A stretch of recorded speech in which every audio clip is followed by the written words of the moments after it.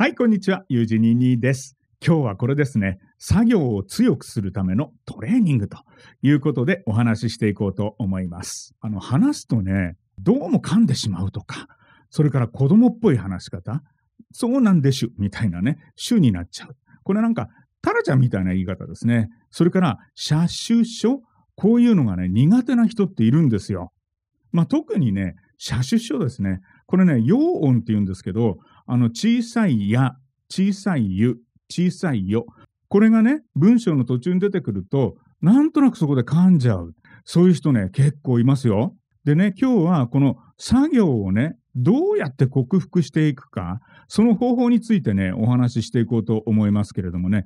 まあ、特にね、噛んじゃう人って結構いるもんですから、今度は噛まないためにどうするか、そのボイストレーニング、今日は詳しく解説していこうと思います。で、今日はね、最後まで見てもらうと、作業でね、噛むことがなくなるっていうのがね、わかると思います。このね、できなかったらそのボイストレーニング、これを何度もやってもらうと、最終的には楽に話せるようになりますからね。ぜひ最後までご覧ください。それから私今ね、元曲アナ流話し方スクールっていうのをやってるんですよ。それで、あの、無料でね、今カウンセリング受け付けてますから、なんか気になることがあれば、その無料のカウンセリング、気軽に受けてみてください。今日見てね、えーちょっとなんか興味があるなということであれば、チャンネル登録ボタン、それから面白かったというんであれば、えーいいねボタン押していただければと思います。では早速始めましょう。いきなりですけれども、これね、読めます？ね。諸社山の車窓城。諸社山の車窓城。これね、簡単に読めるっていう人は、もう見なくていいです。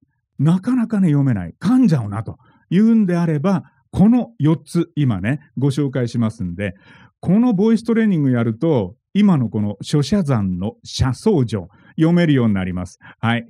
これ1つ目がね、顎の上下のトレーニング。2つ目が、す、しのトレーニング。3つ目が、家業を絡ませるトレーニング。4つ目が、陽音をつけてのトレーニングということで、この4つのボイストレーニングをやっていくと、作業が楽になって、今の諸社山の車窓城。これも読めるようになります。そうしたらもう作業は克服したというふうに思ってもいいと思いますね。じゃあ早速一つ目から行ってみましょう。じゃあ一つ目ですけれどもね、一つ目はね、顎の上下のトレーニングです。ここに出てるように、えー誘い誘われ、さしすせそ。これ特にね、さと、せと、そ。これがね、あの、顎をよく動かすということになりますんで、これの練習です。今やったようにね、誘い誘われ、さしすせそ。これがね、なかなか言えなかったら、ここに出てるようにね、さささ、せせせ、そそそ。それから、させそ、させそ、させそ。この練習をしていくと、誘い誘われ、さしすせそ。これがね、楽にできるようになります。要はね、顎の上下のトレーニングですからね。うん。これで、えーさ、せ、そは克服できると思いますね。二つ目ですけれども、す、しのトレーニングです。寿司屋で寿司食った。新鮮なしらすが美味しい。こういうふうに、す、し、す、し、す、し。これは、う、い、う、い、う、い。これをす、しに変えただけなんですよ。す、し、す、し、す、し。寿司屋で寿司食った。新鮮なしらすが美味しい。これやっぱりね、しとかいうのも横に広げなきゃダメなんですよ。で、これの訓練によって、このあたりが楽になってくるのと、それから、す、しがね、えー、綺麗に出るようになります。これで、1番と2番で、さしすせそ。これができるようになるわけですね。続いてはね、さしすせその特にしに関してですけれども、家業をちょっと絡ませるということなんですね。これはどういうことかっていうと、ここに書いてあるように、クジャクが車庫の書庫にいた。これね、車庫っていうのがちょっと難しいかもしれない。クジャクが車庫の書庫にいた。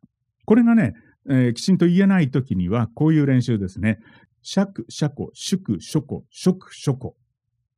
これですね。そして、弱、邪庫、塾、樹庫、ジョク、ジョコ。これね、最初のうち言いづらかったら、ゆっくり読んでみてください。シャク、シャコ。シュク、シュコ、ショク、ショコシュコ。ショク、ショコ。ジャク、ジャコ。ジュク、ジュコ。ジョク、ジョコ。こういうふうに練習していくと、クジャクがシャコのショコにいた。これが言えるようになると思います。4つ目は、陽音のトレーニングということで、3つ目とちょっとね、似てるんですけれども、これね、新車の車種を熟知する。特にここではね、車種っていうのが言いづらいかもしれないです。新車の車種を熟知する。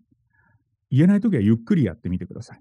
言えなかったらまずこの訓練ですね。車種書、車種書、車種書。それから、じゃじゅじょ、じゃじゅじょ、じゃじゅじょ。これを何度か繰り返すと、新車の車種を熟知する。これが言えるようになります。この今の4つ紹介しましたけども、この4つをね、えー、毎日ボイストレーニングやると、かなりね、作業が強くなって、噛むことは少なくなってくると思います。はい。じゃあ、おまけみたいなもんですけれども、さっき言ったように、書写山の車窓城。書写山の車窓城。これをね、毎朝起きた時にね、もう覚えたらいいんですよ。書写山の車窓城。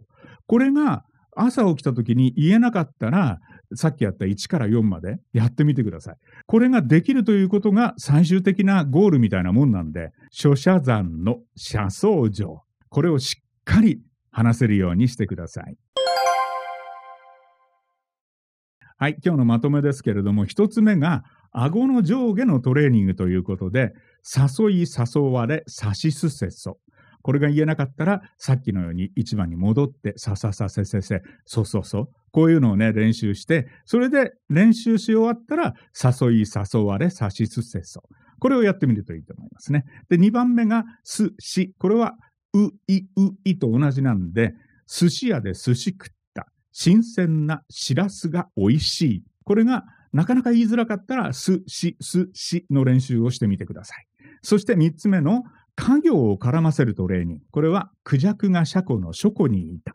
これがうまくできないときには、尺、車庫。ね。こういったところをね、何度も練習すると、クジャクが車庫の書庫にいた。すんなり言えるようになると思います。はい。そして4つ目が、えー、陽音をつけてのトレーニング。これは、新車の車種を熟知する。車種っていうのがちょっとポイントになるかもしれません。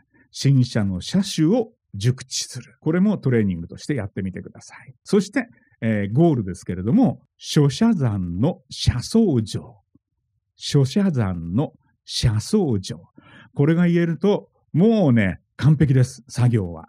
噛むことはほとんどなくなります。何度も練習してみてください。それでね、早い人はね、1週間ぐらいでもう、書写山の車窓城。これがね、簡単に言えるようになると思います。まあ、遅くてもね、1ヶ月もね、この練習すれば、ゴール、書写山の車窓城。